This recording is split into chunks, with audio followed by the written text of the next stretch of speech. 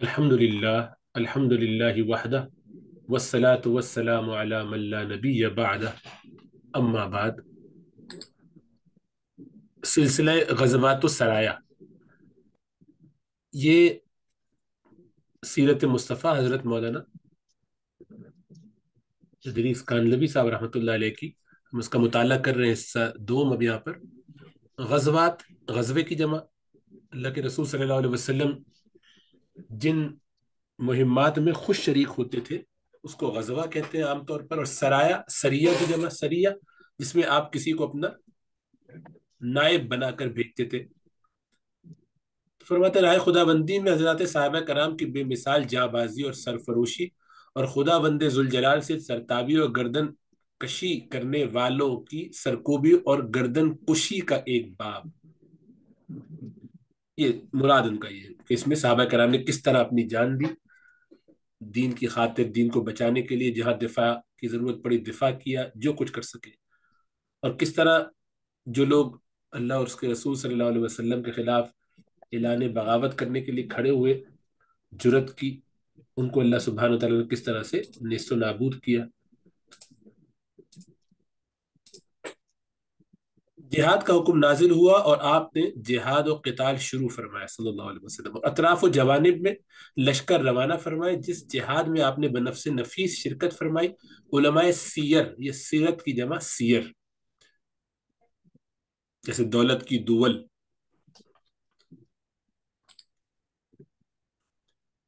تو علماء سیر کی اصطلاح میں اس کو غزوہ کہتے ہیں، جس میں آپ شریک نہیں ہوئے، اس کو سریہ یا باس بھی کہتے ہیں باس غزوات کتنے ہوئے؟ موسیٰ بن عقبہ، محمد بن اسحاق، امام واقدی، ابن سعاد امام بن جوزی دویاتی عراقی وغیرہ نے غزوات کی تعداد ستائیس بتائی ہے۔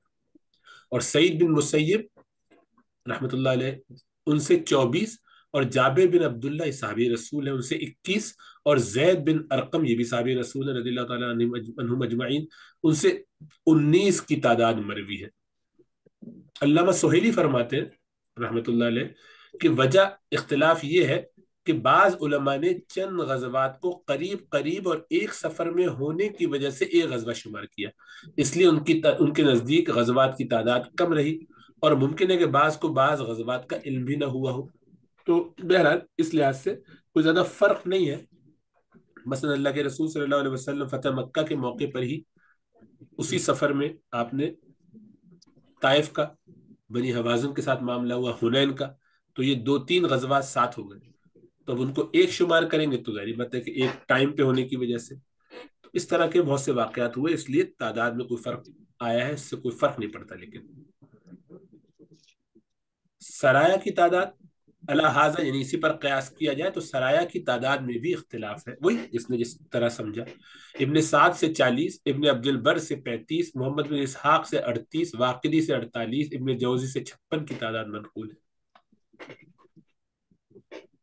سریع حمزہ رضی اللہ تعالیٰ رسول اللہ صلی اللہ علیہ وسلم نے سب سے پہلے ہجرت کے سات مہینے بعد رمضان المبارک سن ایک ہجری میں یا ربیع الاول سن دو ہجری میں اللہ اختلاف الاقوال، یہ اس میں مختلف قول کی وجہ سے تیس مہاجرین کی جمعیت کو، ایک جماعت، چھوٹی سی جمعیت کو، ٹکڑی کو، حضرت حمزہ رضی اللہ تعالیٰ عنہ کی سرکردگی میں سیف البحر کی طرف روانہ فرمایا۔ تاکہ قریش کی تین سو سواروں کا قافلہ، جو ابو جہل کی سرکردگی میں شام سے مکہ واپس آ رہا تھا، اس کا تعاقب کرے۔ ہجرت کے بعد یہ پہلا سریہ تھا۔ اس جمعیت میں مہاجرین کے سوا انصار میں سے کوئی نہ تھا، صرف مہاجرین تھے۔ جب حضرت حمزہ سیف البحر پر پہنچے اور فریقین کا آمنا سامنا ہو گیا اور جنگ کے لیے صفے قائم ہو گئی، تو مجدی بن امر جوہنی نے درمیان میں پڑھ کر بیچ بچاؤ کرایا۔ ابو جہل قافلہ لے کر مکہ مکہ چلا گیا اور حضرت حمزہ مدینہ واپس آ گئے۔ اس کے حاشیے میں بعض کہتے ہیں کہ اس سریے میں کچھ انصار بھی تھے اور ابن سعد کہتے ہیں کہ صحیح ہے کہ انصار میں سے کوئی نہ تھا۔ غزوہ بدر سے پہلے حضرت صلی اللہ علیہ وسلم نے جتنے بھی سریے روانہ کیے، ان میں کوئی انصاری نہ تھا۔ اس لیے کہ انصار نے مدینہ میں رہ کر حفاظت کا وعدہ کیا تھا۔ اسے کانٹریکٹ یہی ہوا تھا، اسے ڈیلی یہی ہوئی تھی، معاہدہ یہی ہوا تھا کہ آپ مدینہ میں رہ کے مدد کریں گے۔ باہر جا کر لڑنے کا وعدہ نہیں کیا تھا، اس لیے آپ نے غزوہ بدر میں انصار سے مخاطب ہو کر فرمایا کہ تمہاری کیا رائے ہے۔ یہ آگے تفصیل آئے گی۔ یہ اہم نقطہ ہے۔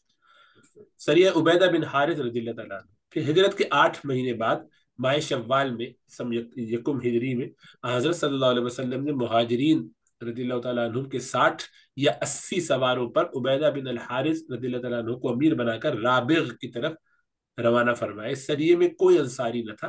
وہاں پہنچ کر قریش کے دو سو سواروں کی جمعیت سے منبھیڑ ہوئی، مگر لڑائی کی نوبت نہیں آئی۔ صرف سعد ابن ابی وقاص رضی اللہ تعالیٰ عنہ نے ایک تیر چلایا۔ یہ پہلا تیر تھا جو اسلام میں چلایا گیا۔ ابو سفیان بن حرب اس وقت مسلمان نہیں تھے۔ اور اکرما بن ابی جہل یہ بھی مسلمان نہیں ہوئے تھے یہ بھی دونوں فتح مکہ کے موقع پر مسلمان ہوئے۔ یا مکرز بن حفظ اللہ اختلاف الاقوال یعنی اختلاف ہے اس میں قولوں میں کہ تینوں میں سے کون تھے؟ وہ اس جماعت کے افسر تھے۔ مقداد بن امر اور اتبا بن غزوان جو پہلے سے مسلمان ہو چکے تھے، مگر قریش کے پنجے میں ہونے کی وجہ سے ہجرت سے مجبور تھے۔ قریش کے قافلے کے ساتھ ہو لیے، جب موقع پڑے تو مسلمانوں سے جا ملیں گے اس نیت سے۔ چنانچہ اس موقع پر جب مسلمانوں اور قریش کا مقابلہ ہوا تو یہ دونوں حضرات کفار کے گروہ سے نکل کر مسلمانوں میں آ کے شامل ہوئے۔ حضرت حمزہ اور حضرت عبیدہ کی روانگی چونکہ نہایت قریب قریب ہے، اس لیے علماء کا اختلاف ہے۔ بعض حضرات حمزہ کی روانگی کو مقدم بتاتے ہیں اور بعض عبیدہ کی روانگی کو مقدم یعنی دونوں میں اختلاف ہو گیا کہ کون سا پہلے ہوا تھا۔ اور اس کی ایک وجہ یہ بھی ہوتی ہے کہ اس زمانے میں عام طور پر بھی بہت سے واقعات کو اتنی تفصیل سے کوئی اہمیت دے کے یاد نہیں رکھتا۔ یہ تو ہمارے لیے بعد میں اس کی اتنی اہمیت بن جاتی ہے۔ مثلا ہم خالی اپنا یہ غور کریں کہ ہم نے پہلے فلاں درس میں شرکت کی، اس کے بعد فلاں میں، یا ہم نے پہلے فلاں کتاب پڑھائی ہے۔ ان چیزوں کی تو ذریع بات ہے، عام حالات میں کوئی ایسی اہمیت نہیں ہوتی ہے۔ تو وقت کے بعد پتہ چلتا ہے کہ اچھا یار، اس وقت یہ پتہ چل جاتا تو زیادہ اچھا رہتا۔ ہے نا؟ اس سے کوئی تاریخی تاریخی طور پر کوئی فائدہ سمجھ میں آتا ہے۔ اور کیونکہ ان چیزوں کا محفوظ رہنا بھی کوئی ایسی ضروری چیز نہیں ہے۔ بس اتنا کافی ہے کہ کوئی غزوہ یہ تھا، کوئی سریہ یہ ہوا تھا، بس آگے پیچھے ہو بھی گیا تو کیا فرق پڑتا ہے؟ یعنی یہ اتنا اس میں بہت باریکیوں کے ساتھ دیکھنے سے کوئی فرق پڑتا نہیں زیادہ، تو اس لیے ان چیزوں کی حفاظت بھی اس طرح سے نہیں کی جاتی۔ حضرت حمزہ اور حضرت عبیدہ کی روانگی کے بارے میں یہ اس لیے اختلاف۔ وہ بعض کہتے ہیں کہ دونوں بعض مان واقع ہوئے تھے، قریب قریب، اس لیے اجتماع ہو گیا، اتنا قریب تھے۔ کسی نے سریہ حمزہ کو مقدم بتلا دیا، کسی نے سریہ عبیدہ کو پہلے بتلا دیا، ہر ایک اپنی اپنی جگہ صحیح ہے۔ سریہ سعد ابن ابی وقاص، پھر مائز قادہ پہلی ہجری ہی میں بیس مہاجرین کی پاپ پیادہ جمعیت کو سعد ابن ابی وقاص کی سرکردگی میں سرکردگی میں خرار کی طرف روانہ فرمایا۔ خرار جوہفہ کے قریب ایک وادی غدیر خم بھی اسی کے قریب واقع ہے۔ یہ لوگ دن کو چھپ جاتے اور رات کو چلتے، خرار پہنچ کر معلوم ہو کہ قریش کا قافلہ نکل چکا ہے، یہ لوگ مدینہ واپس آ گئے۔ جاننا چاہیے کہ واقعی اور محمد ابن سعد کے نزدیک یہ تینوں سریے پہلی ہجری میں روانہ کیے گئے تھے۔ اور محمد ابن اسحاق کے کہتے ہیں کہ یہ تینوں سریے دو ہجری میں غزوہ ابوا کے بعد روانہ کیے گئے تھے۔ اور ابن حشام نے بھی اپنی سیرت میں اسی کو اختیار کیا کہ اول غزوہ غزوہ ودان کو ذکر کیا، پھر سریہ عبیدہ بن حارث کو، پھر سریہ حمزہ کو ذکر کیا، اور ناچیز نے حافظ ابن قیم اور علامہ قسطلانی اور علامہ زرقانی کا اتباع کیا۔ یعنی وہ یہ کہہ رہے ہیں کہ راقب حروف جو ہیں، مولانا ادریس خان نبی رحمۃ اللہ علیہ، انہوں نے ظاہر بات اختلاف رائے کو سامنے رکھتے ہوئے ان کا ذوق اس طرف ہے کہ یہ ترتیب رہی۔ پہلا غزوہ کون سا؟ وہ سریہ انہوں نے پہلے تین گنوا دیے۔ تو پہلا سریہ حضرت حمزہ کا، پھر عبیدہ بن الحارث اور پھر سعد بن نبی وقاص۔ تین سرائے ہوئے جس میں رسول اللہ صلی اللہ علیہ وسلم نے مختلف ان تینوں صحابہ کو بھیجا، لیڈر بنا کے۔ اور غزوہ ابوا، یہ پہلا غزوہ ان کے حساب سے۔ ضروری نہیں آگے پیچھے ہو سکتا ہے تھوڑا بہت۔ یہ پہلا غزوہ ہے جس میں حضرت صلی اللہ علیہ وسلم بنفس نفسی، نفیس تشریف لے گا اور غزوہ تبوک آخری غزوہ ہے۔ یہ تو طے ہے، ابوا اور تبوک پہلے اور آخری۔ شروع سفر دو ہجری میں ساٹھ مہاجرین کو، جن میں کوئی انصاری نہ تھا، اپنے حملہ لے کر قافلہ قریش اور بنو زمرہ پر حملہ کرنے کے لیے ابوا کی طرف روانہ ہوئے۔ سعد بن عبادہ رضی اللہ تعالیٰ عنہ کو مدینہ میں اپنا جانشین مقرر فرمایا، اس غزوے میں جھنڈا حضرت حمزہ رضی اللہ تعالیٰ عنہ کے ہاتھ میں تھا۔ جب آپ ابوا پہنچے تو قریش کا قافلہ نکل چکا تھا، بنی دمرہ کے سردار مخشی بن امر سے صلح کر کے واپس ہوئے۔ شرائط صلح یہ تھی کہ بنو دمرہ نہ مسلمانوں سے جنگ کریں گے، نہ مسلمانوں کے کسی دشمن کی مدد کریں گے اور نہ مسلمانوں کو کبھی دھوکہ دیں گے اور اندر ضرورت ضرورت کے وقت مسلمانوں کی اعانت اور مدد بھی کریں گے۔ اس غزوے کو غزوہ ودان بھی کہتے ہیں، غزوہ ابوا کو غزوہ ودان بھی کہتے ہیں۔ ابوا اور ودان یہ دو مقام ہیں جو قریب قریب ہیں اور جن میں صرف چھ میل کا فاصلہ ہے۔ تو اس لیے دونوں کی نسبت سے کہہ دیتے ہیں۔ ایک ہی قریب قریب کے علاقے ہوں تو ایسا بول دیا جاتا ہے۔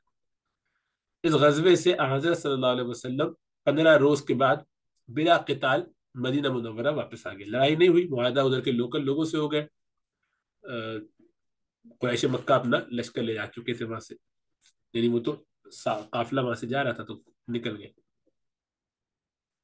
اس سفر میں نوبت نوبت قتال کی نہیں آئی، لڑائی جھگڑا نہیں ہوا اس میں۔ غزہ بوات۔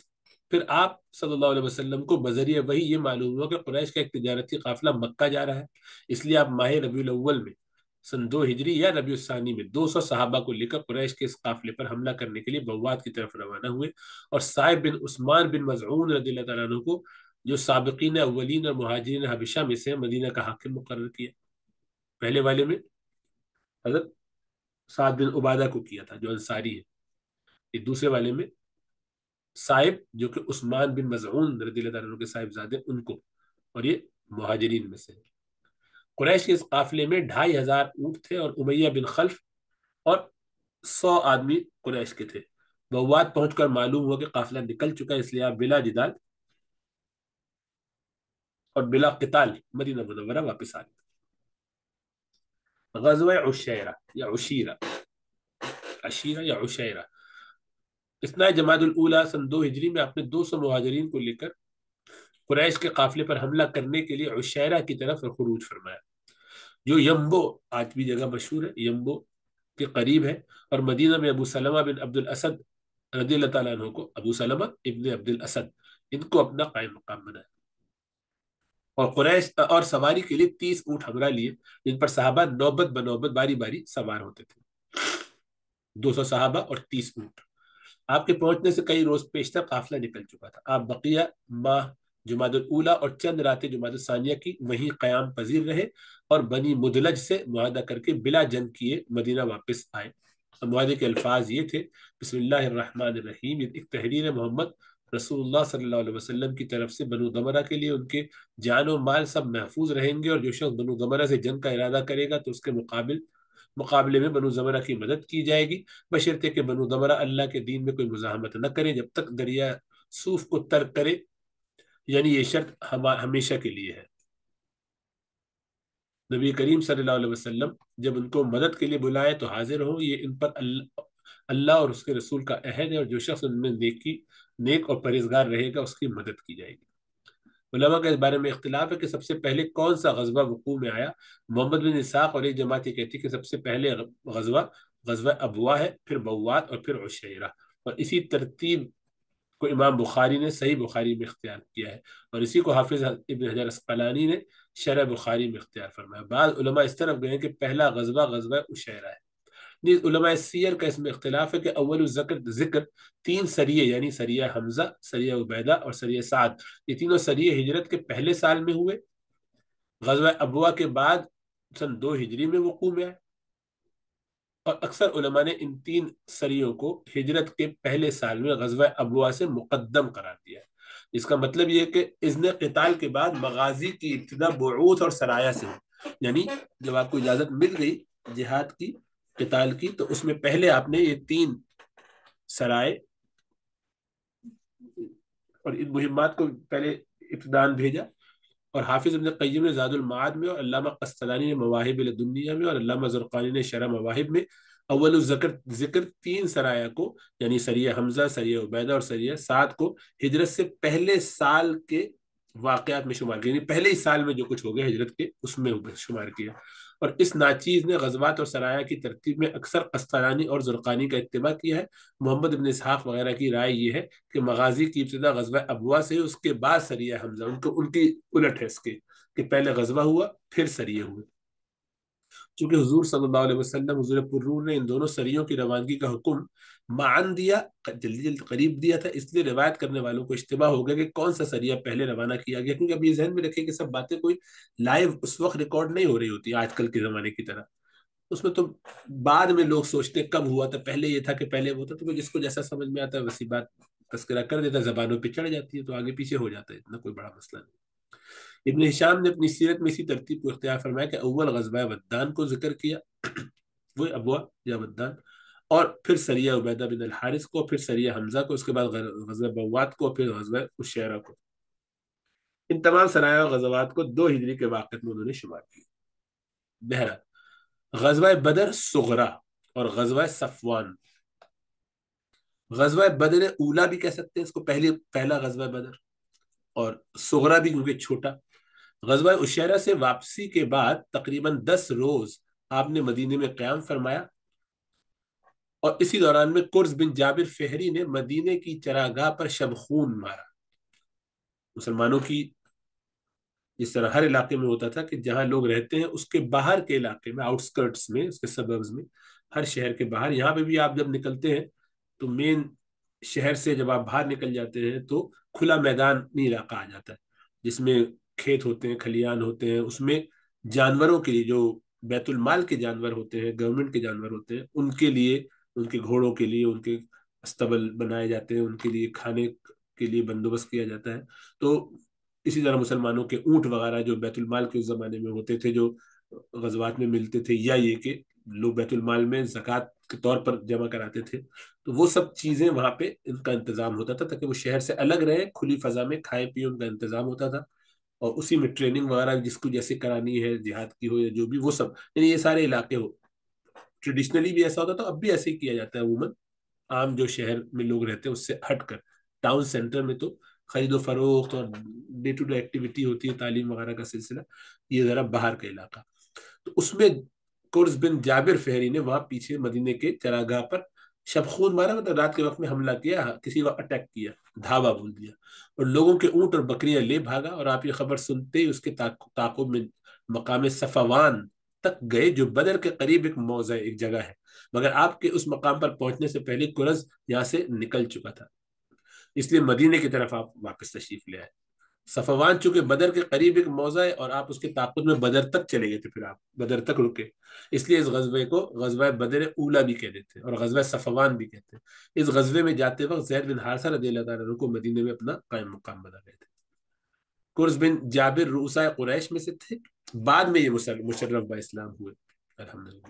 اور رسول اللہ صلی اللہ علیہ وسلم نے جب ارنیین کے تعاقب میں بیس سواروں کا ایک دستہ روانہ فرمایا تو قرض بن جابر کو اس وقت ان کا امیر بنایا تھا، فتح مکہ میں یہ شہید ہوئے۔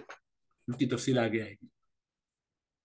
سریہ عبداللہ بن جہش رضی اللہ تعالیٰ یہ غزوہ صفوان سے واپسی کے بعد رجب کے مہینے میں، یہ دو ہجری کے اندر، رسول اللہ صلی اللہ علیہ وسلم نے عبداللہ بن جہش رضی اللہ تعالیٰ عنہ کو مقام نخلا کی طرف روانہ کیا اور گیارہ مہاجرین کو آپ کے ہمراہ کیا، جن کے نام یہ ابو حذیفہ بن اتبا اکاشہ بن محسن اتبا بن غزوان سعد بن نبی وقاص عامر بن ربیع واقع بن عبداللہ خالد بن بکیر سہیل بن بیضاء عامر بن ایاس مقداد بن عمر اور صفوان بن بیضاء یہ گیارہ ہے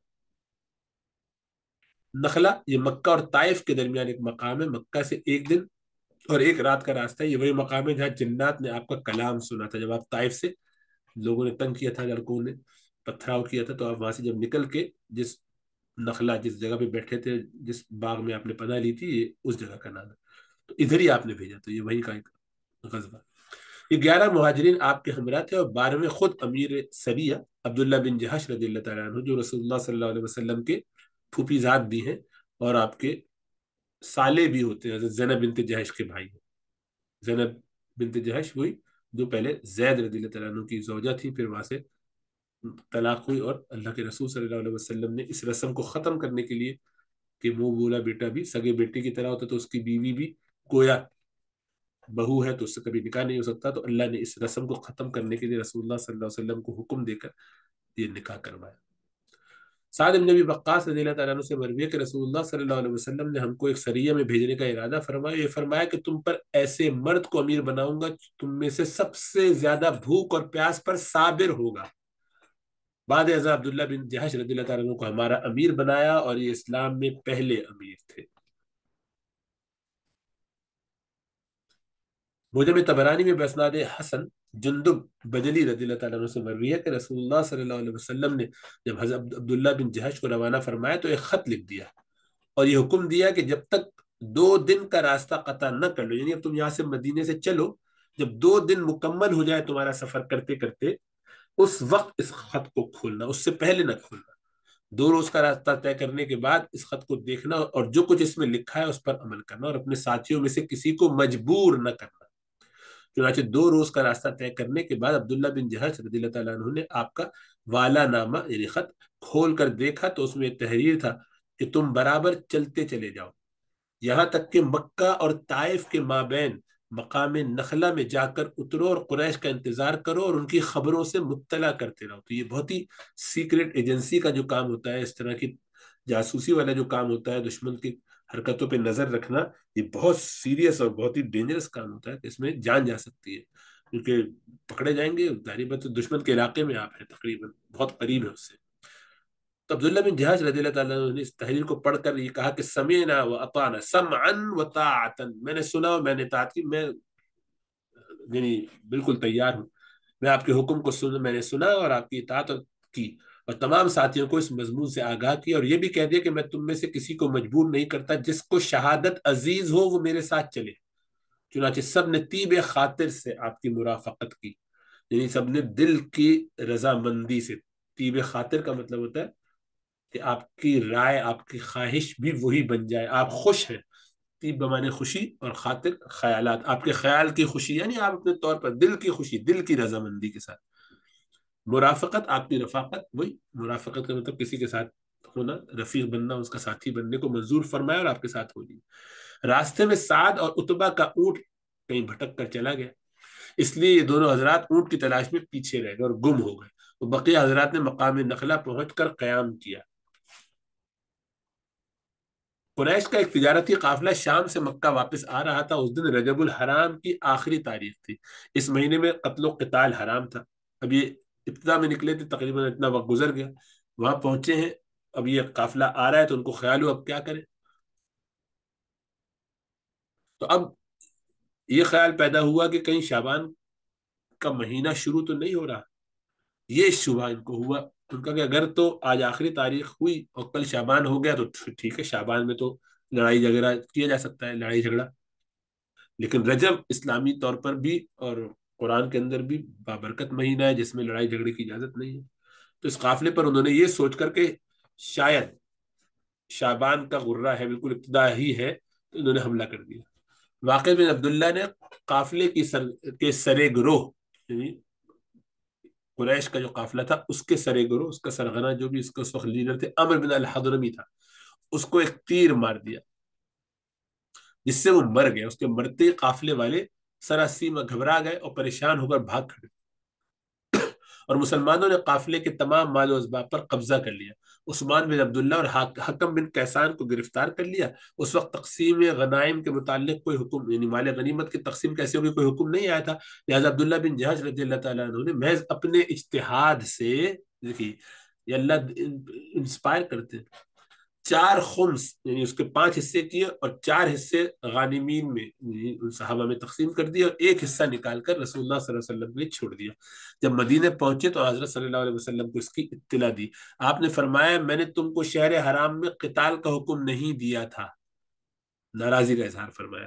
اور اللہ کے رسول صلی اللہ علیہ وسلم کی ناراضی سے تو ظاہری پتہ صحابہ کی جان ہی نکل گئی۔ عبداللہ بن جہاز تو بالکل ہی سناٹے میں آ گیا کہ یہ کیا ہوگا؟ میں نے تو خلاف ورزی کر دی۔ اور جب تک وہی نازل نہیں ہوئی اس وقت تک مال غنیمت رسول اللہ صلی اللہ علیہ وسلم نے اور قیدیوں کو کہا کہ اپنی حفاظت میں رکھو، میرا ان سے کوئی لینا دینا نہیں۔ آپ بہت شدید ناراض ہوئے، کیونکہ قریش کے لوگوں نے اس پر بہت شور مچانا شروع کر دیا کہ دیکھو، محمد کے لوگ نعوذ باللہ اب جو ہے وہ محترم مہینوں کا بھی احترام نہیں کرتے ہیں۔ رجب کے مہینے میں انہوں نے جو ہمارے ایک بندے کو تیر مار کے مار دیا اور یہ کر دیا، وہ کر دیا، جو بھی اس طرح کی باتیں انہوں نے بہت پروپیگنڈا اس کا کیا، جو آج کل بھی لوگوں کا طریقہ ہے پریشرائز کرنے کے لیے۔ اس پر عبداللہ بن جہش اور ان کے رفقا بہت نادم اور پریشان ہوئے اور پشیمان ہوئے۔ ادھر مشرقین اور یہود نے کہنا شروع کر دیا کہ محمد صلی اللہ علیہ وسلم اور ان کے اصحاب نے شہر حرام میں بھی یعنی حرام مہینے میں، شہر عربی میں مہینے کو کہتے ہیں، علاقے کو نہیں، وہ اردو میں ہے یعنی فارسی کا لفظ ہے جو اردو میں آیا ہے، شہر بمانے علاقہ ٹاؤن یہ شہر عربی کا ہے، شہر حرام، محترم مہینہ۔ اس میں قتل و قتال کو حلال کر لیا۔ اس پر یہ آیت نازل ہوئی، یسألونک عن الشہر الحرام قتال فیہ قل قتال فیہ کبیر وصد عن سبیل اللہ وکفر بھی والمسجد الحرام واخراج آلی منہ اکبر عند اللہ والفتنة اکبر من القتل۔ کہ آپ سے سوال کرتے ہیں حرام مہینوں میں قتال کرنے کے بارے میں؟ آپ جواب میں کہہ دیجیے کہ بے شک مائے حرام میں قصدن لڑائی کرنا، قتال کرنا بڑا گناہ ہے، لیکن اللہ کے راستے سے روکنا۔ اور خدا کے ساتھ کفر کرنا، مسجد حرام سے روکنا، اہل حرم کو حرم سے نکالنا اللہ کے نزدیک یہ جرم، سب جرموں سے زیادہ سخت اور بڑا ہے۔ اور کفر اور شرک کا فتنہ اس قتل سے کہیں بڑھ چڑھ کر ہے۔ اور یہ کافر ہمیشہ تم سے جنگ کرتے رہیں گے تاکہ تم کو تمہارے دل سے ہٹا لے، اگر تم میں طاقت ہو۔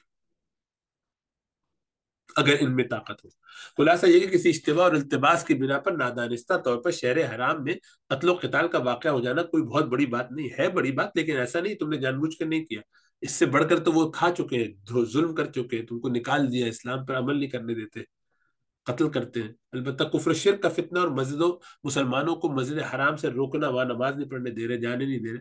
یہ دیدہ و دانستہ روکنا یہ عظیم فتنہ ہے، اس سے بڑھ کر کوئی اور جرم نہیں ہے۔ اس آیت شریفہ کے نازل ہونے کے بعد آپ نے خمس قبول فرما لیا اور باقی مال غنیمت کو مجاہدین میں تقسیم کر دیا۔ عبداللہ بن جہش اور ان کے رفقا اس آیت کو سن کر بہت خوش ہوئے۔ اب اس کے بعد عبداللہ بن جہش اور ان کے رفقا کو اجر و ثواب کی امید دامنگیر ہوئی اور عرض کے یا رسول اللہ صلی اللہ علیہ وسلم کہ ہم اس غزوے پر کچھ اجر کی امید بھی رکھ سکتے ہیں۔ اس پر آیت نازل ہوئی۔ ان الذين امنوا والذين هاجروا وجاهدوا في سبيل الله اولئك يرجون رحمت اللہ والله غفور الرحیم کہ تحقیق جو لوگ ایمان لائے اور ہجرت کی اور اللہ کے راستے میں جہاد کی، ایسے لوگ بلا شبہ اللہ کی رحمت سے امید رکھ سکتے ہیں، کیوں نہیں؟ اللہ تو بڑا بخشنے والا اور مہربان ہے۔ اسلام میں پہلی غنیمت تھی مال غنیمت۔ اور امر بن حضرمی پہلا مقتول تھا جو مسلمانوں کے ہاتھ سے مارا گیا۔ قریش نے عثمان بن عبداللہ اور حکم بن کیسان کا فدیہ بھیجا۔ آپ نے فرمایا، جب تک میرے ساتھی سعد اور اتبا واپس نہ آ جائیں، اس وقت تک تمہارے قیدیوں کو نہ چھوڑوں گا۔ اس لیے کہ مجھ کو اندیشہ ہے کہ تم ان کو قتل نہ کر دو۔ اور اگر تم میرے ساتھیوں کو قتل کرو گے، تو میں بھی تمہارے ساتھیوں کو قتل کر دوں گا۔ اس کے چند دن بعد سعد اور اتبا ان کو انہوں نے پکڑ لیا تھا، انہوں نے چھوڑ دیا اور آپ نے فدیہ لے کر عثمان اور حکم کو چھوڑ دیا۔ عثمان تو رہا ہوتے ہی مکہ واپس چلا گیا اور مکہ ہی میں جا کر کافر ہو کر مرا۔ اور حکم بن کیسان مسلمان ہو گئے اور مدینہ ہی میں رہے، یہاں تک کہ غزوہ بیر معونہ میں شہید ہوئے۔ اور اسی بارے میں حضرت عبداللہ بن جہاز رضی اللہ تعالیٰ عنہ شعر فرمایا کرتے تھے، تعدون قتلا فی الحرام عظیما وآدم منه لو يرى الرشد راشد صدودكم عما يقول محمد وكفر به والله راء وشاهد.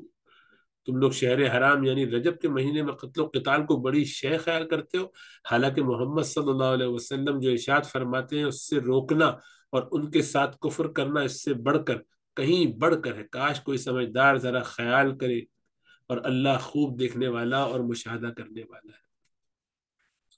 وَإِخْرَاجُكُم مِّن مَسْجِدِ اللَّهِ أَهْلَهِ لِأَلَّا يُرَى فِي الْبَيْتِ لِلَّهِ سَاجِدُ اور تمہارا اللہ کے گھر سے اللہ والوں کو نکالنا تاکہ اللہ کو سجدہ کرنے والا کوئی نظر نہ آئے، یہ بھی شہر حرام میں قتال کرنے سے بڑھ کر ہے۔ تم اگر ہم کو اس قتل پر آر دلاؤ، اور حاسد لوگ اسلام کے متعلق کتنی ہی جھوٹی خبریں اڑائیں، لیکن ہم کو پرواہ نہیں۔ بے شک ہم نے امر بن الحضرمی کے خون سے مقام نخلا میں اپنے نیزوں کو سیراب کیا، جبکہ واقد بن عبداللہ نے لڑائی کی آگ بھڑکائی اور عثمان بن عبداللہ ہمارے مابین اسیر تھا جس کو توقع سلاسل اپنی طرف کھینچ رہے تھے۔ تو بہرحال یہ پس منظر ہے اور اس کے بعد پھر غزوہ بدر کبرا ہوا۔ یہ رمضان المبارک سن دو ہجری میں، اور اسلام کا سب سے بڑا غزوہ ہے۔ اس کو انشاءاللہ تعالیٰ اگلے ہفتے پڑھیں گے اور ضریبت سب سے اہم غذبہ ہے مسلمانوں کا اور اس کو یوم الفرقان اللہ نے قرآن میں قرار دیا۔ اللہ سبحانہ و تعالیٰ سمجھ بھی عطا فرمائے، علم بھی عطا فرمائے، فہم عطا فرمائے، اور تقوی کے ساتھ عمل کرنے والا بنائے۔ السلام علیکم ورحمۃ اللہ وبرکاتہ۔